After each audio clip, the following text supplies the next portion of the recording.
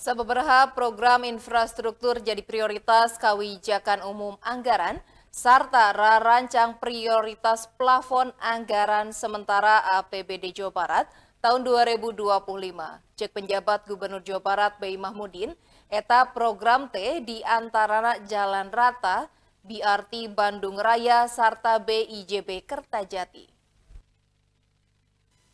Penjabat Gubernur Jawa Barat Bey Mahmudin nanda nota kesepakatan babarengan jeng DPRD Jawa Barat kenara rancang KUA PPAS atau Kewijakan Umum Anggaran Tur Rancang Prioritas Plafon Anggaran Sementara APBD Jawa Barat tahun 2025 di rapat paripurna DPRD Jawa Barat Senin 28 Juli 2024.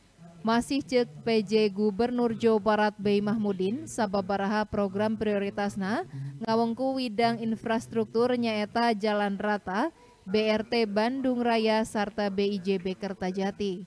Liantik itu program ngomean imah telayak huni serta ketak ngungkulan lelawak keme kerwidang pengolahan sumber daya alam G jadi prioritas tanda tangan tentang kesepakatan KUA dan PPAS dan ada beberapa uh, program yang diprioritaskan itu jalan untuk bidang infrastruktur wilayah. Itu jalan mulus BRT Bandung Raya BIJB Kertajati kemudian untuk sampah uh, Kelangkar dan Bulut Nambo Usru Tilahu dan penanganan kawasan kumuh untuk bidang PSDA itu kerawanan pangan regenerasi petani, pengelolaan inflasi, hilirisasi industri, UMKM, dan investasi.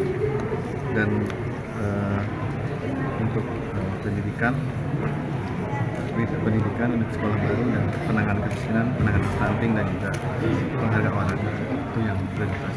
Di rancang KUA PPAS 2025 pihaknya boga target pendapatan daerah nitih 28,83 triliun serta belanja daerah 28,7 triliun.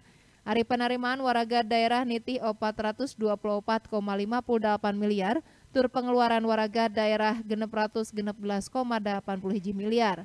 Bukituna, volume APBD nitih tilu puluh koma tilu puluh lima triliun. Budi Hartati, Bandung TV.